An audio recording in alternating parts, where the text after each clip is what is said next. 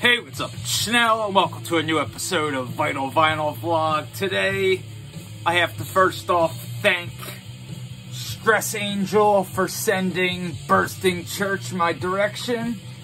After an absolutely fucking banger of a demo on Stygian Black Hand, the full length, oh my god. If you know me, you know I love evil death metal. Especially evil sounding death metal that sounds like it was recorded like a couple decades ago. And still manages to fucking absolutely destroy 98% of the competition when it comes to death metal. Like, it's just so fucking perfect for what it is. And I know there's so many other bands out there trying so hard to nail what Stress Angel is doing with their sound. And I just think this is one of those records that if for some reason you know, you didn't hear the demo or you don't follow Stygian Black Hand, you probably should start because this is legit hands fucking down one of the best full-length records, death metal or otherwise, in 2021 so far. And first off, the cover is absolutely gorgeous. And just whoever captured like the actual like window blowing out of that church fuck. Like that's gnarly. And what a good promo photo and again, just kind of, you know, going back to simpler times. And that's what this reminds me of. Riffs, vocally especially, like, you know, there's no, like, fucking Predator-style vocals that come out of nowhere. It's just, like, straight fucking to the jugular, just, you know, venomous death metal. Like, it just sounds evil and sinister and no bullshit. Like, this is boof free death metal. And, like, you can call it, like, you know, is it black metal? Is it death metal? It's on that, like, morbid angel, altars of madness argument you'll get in with some people. Well, the lyrics are very black metal oriented and that is true. Like, if you read the lyrics to Altars of Madness, that shit is straight up, like, as evil and over the top as it fucking gets. But, like, the music, you know, it's going off of the blueprint of death metal and whatnot. But is it a true death metal record? Is it a black metal record? It's a death metal record, in my opinion, but I've had that argument with more than like three people, which is very surprising. But when it comes to Stress Angel sound, like, it really reminds me of like Severed Survival, Error Autopsy at times, but not really. As, like, it kind of has that vibe at times, but then vocally,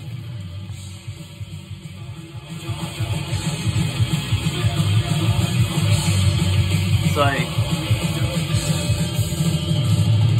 like, it's just got that kind of evil East Coast, like, venomous spit. Like, the way like, like I, I just love the way, like, the vocals are on this record. My one speaker still giving me problems and I can't get to it obviously but yeah this is so fucking good like rifforama the whole way through, and it's one of those records like I I think that they were accidentally also like given the wrong color variant. Like it was supposed to be on this like I, guess to match the flaming church. Like this this is so fucking cool. I'm sorry.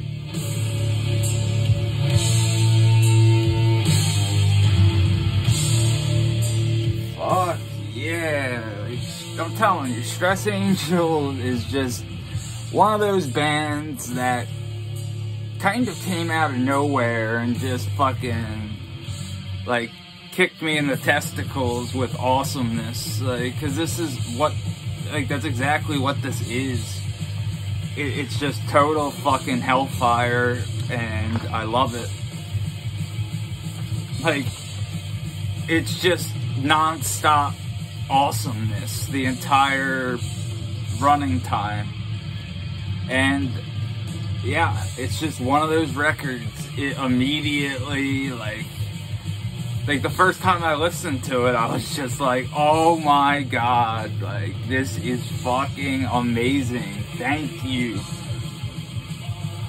Because I really assumed, like, everybody was in the know about Stress Angel, but I guess I might have been wrong. But I know they have a show coming up with Sanguisugabogg, so like, they're gonna fuck, in my opinion, like, yo, that's the band to see because it's their first show ever and they're gonna play some evil, ripping death metal. I would say, you know what? If you're a fan of Superstition, you're really gonna like this. Like, definitely. Uh, like, yeah. I should have said that first. Like, imagine Autopsy meets Superstition with a mix of just like that. Like I was saying, that early, not like total guttural, but just like yelly death metal vocal that just it sounds evil and venomous. Like there's even like a fucking cackle on there. And and I I love the cackle. And if you don't know what I'm talking about, it's like there'll be some super fucking like proto evil riff going on and then the vocalist will just go like and it's just oh it's fucking oh makes it sound some people will say it makes it sound corny. To me it just sounds like an ultra evil King Diamond and I fucking love it. I'm guilty of it. If you listen to Accursed Womb closely, there's a couple tracks. Uh, we, we put it real low in the mix.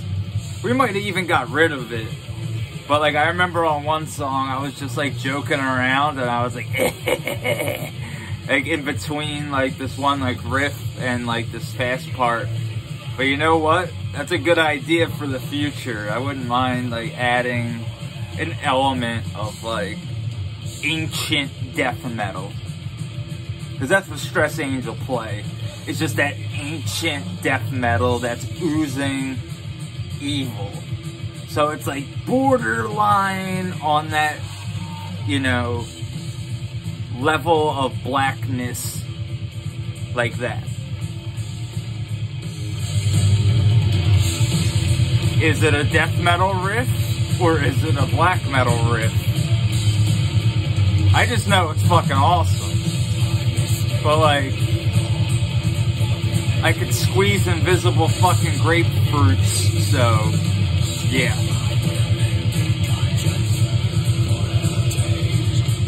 This is top shelf fucking tunes in 2021 right here. And especially for a full length that kind of just dropped out of nowhere and I really hope this isn't, you know, a one-off. I like well the fact they're playing live makes it, you know, it's not one-off and that's fucking great. I don't know if that show happened already. If it happened already, I apologize and I'm gonna go look up live footage if it did happen.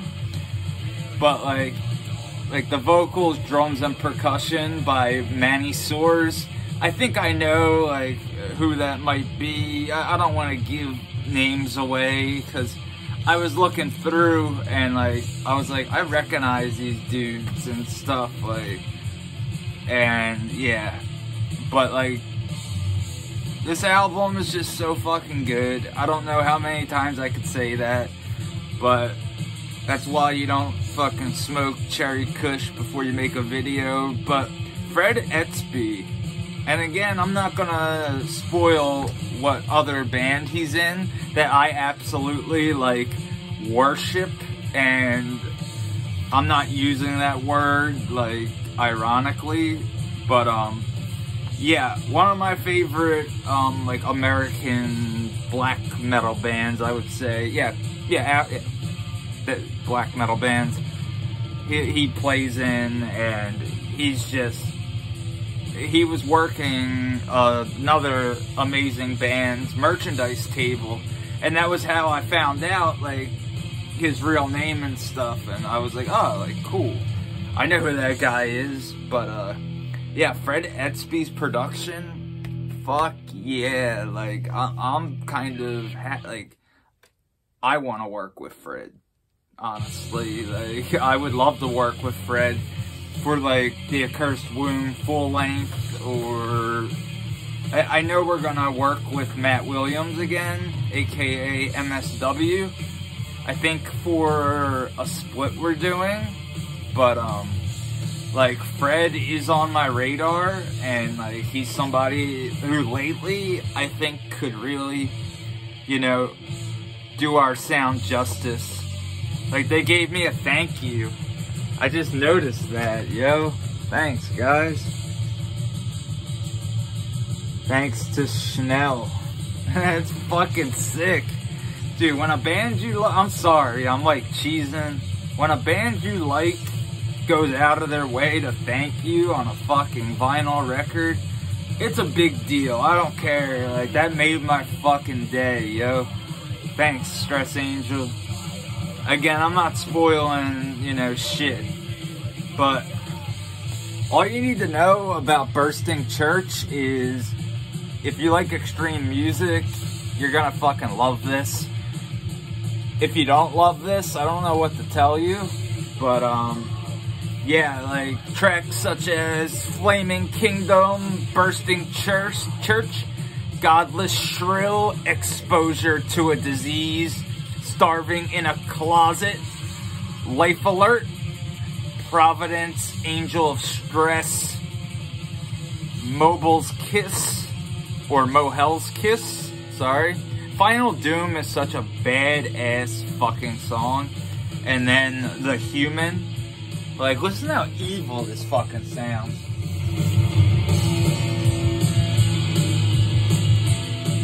very, very Americanized, and that's one of the things that makes this so fucking sick. Like, again, like, if you don't get what these guys are going for here, wow, like, fucking, I, I alright, like, right now, go on the Stygian Black Hand Bandcamp and go check this out. And just so you know, I don't know if this was a mistake at the um, vinyl pressing plant, but I personally don't care. And like I said, I'm grateful to even have a copy of this bad boy. And like I said, I didn't know that they, they thanked me. But the LP on the uh, Bandcamp, I, I don't know if they changed it or not, but it's yellow but I think it's actually pink because uh, a friend of mine got the same thing and this looks fucking badass. I'm trying to get the sunlight correctly. I just realized my light wasn't on. Maybe that will work. Let's see. Cause like it looks, it's, I forget what, uh, like you see those like marks and stuff, like it just looks super cool like when you just like put it out in like the sunlight and shit but cosmetically normally I, I don't really care but like that it just really caught my attention I was like yo that's fucking bad ass And this whole record is fucking badass. Like, like I was saying, it's straight up just like ancient sounding. And when I say ancient sounding, I'm talking 19 like 88 to 1991 like sounding. And like you can't go wrong with like just, you know, like a pentagram, keeping it fucking evil and simple. I love their logo also. Uh I'll show you up here. Like, it again, simple, but it gets the fucking point across and looks very, very classic. And that's the thing about Stress Angel compared to a bunch of these other bands that are going for a similar, you know, sound and whatnot, but end up still getting stuck in the trends of today. If you want to, you know, make old school death metal, you don't have to go the Finnish route. Like, don't get me wrong, that's a great fucking route. Like, my band goes down that road. Obviously, I'm a huge, like, I feel like everybody in the death metal scene is. But, like, also, we're all huge American death metal fans and fans of early American, like, black death metal, especially. And I know personally, like, so much cool stuff came out of America from, like, 1988 to 1993 and so on. Like, America's one of those countries I feel like sometimes when it comes to extreme metal, Europe always gets mentioned above us and there's certain times where it's like, all right, like, yeah, like, but then there's other times where it's like, yeah, but I feel like we play this style a million times better than you guys. Like, I can't picture a band like Stress Angel coming out of Europe without, like, trying to sound too hard. And that might sound harsh, but, like, this flows organically and it just has that fucking vibe to it.